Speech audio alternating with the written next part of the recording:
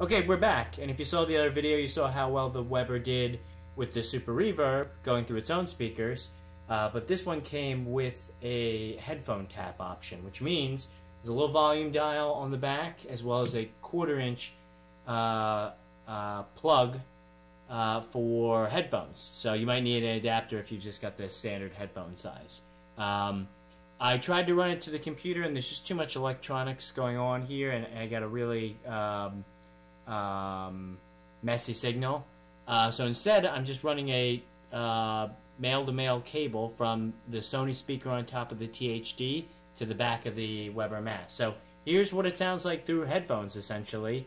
Um, it really will matter what headphones you use, whether you're using earbuds or if you have really nice Bose, it'll definitely impact the sound. But here we go, on the neck.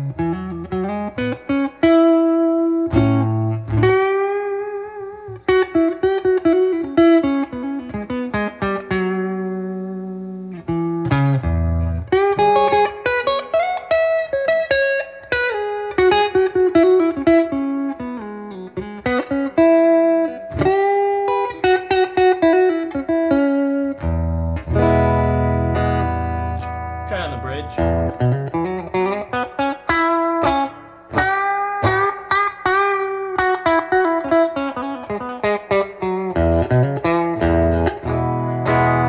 So, does it sound exactly like a 64 Super Reverb? Uh, the answer is no, because we're not running it through a 4x10, we're running it through two, two inch, I think, speakers out of the Sony, one or two.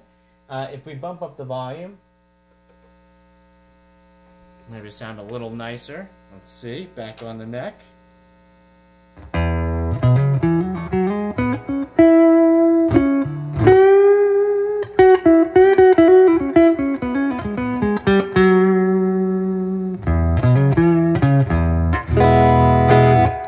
Sounds nice. That- I mean, again, if that was coming through my headphones and I didn't have a you know Vox amp plug or you know a, a computer program to run this, that's yeah really not too shabby at all.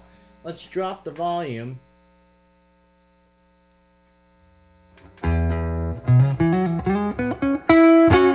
And bring the amp up. Let's see how she handles it.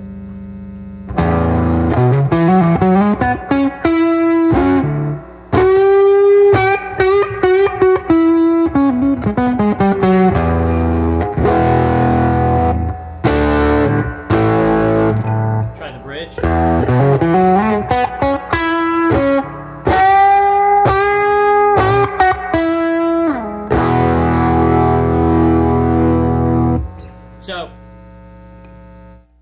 lesson we learned is that the headphone tap, I think, for the money, is a great option to add if you're going to uh, get one of these uh, anyway.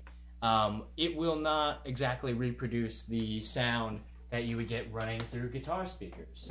Uh, if we hook this up to maybe a big laptop computer set speaker, you know, much bigger drivers and a, and a subwoofer, might sound a bit better. So it really is going to be dependent on uh, what you're listening with. But for practice, and I, so now we're talking, you know, really late night um, uh, practicing, I think it's a great option. Uh, and again, it sounds uh, super or super reverb.